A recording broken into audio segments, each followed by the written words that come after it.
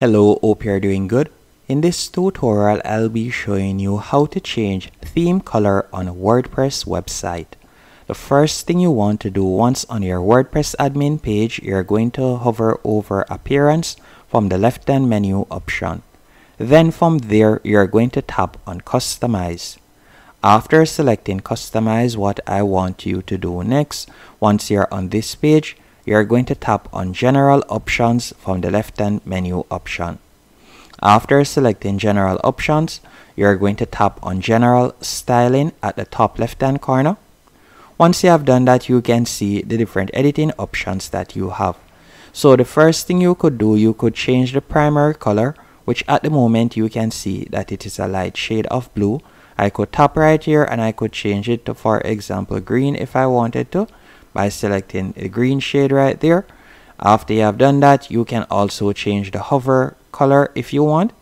So for example, if you have a link whenever someone hovers over it, you can see that it is currently blue as you can see right there. So if I would like to change that to, for example, red, I could select red right there. So from now on, if they were to hover over it, it would be red. You can also change the background color if you want.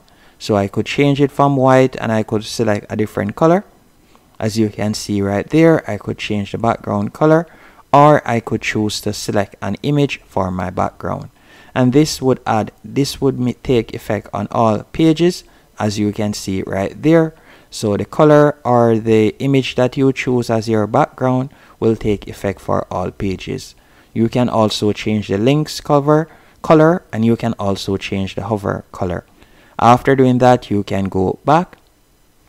And then from here, you could also tap on theme buttons from the left hand menu option.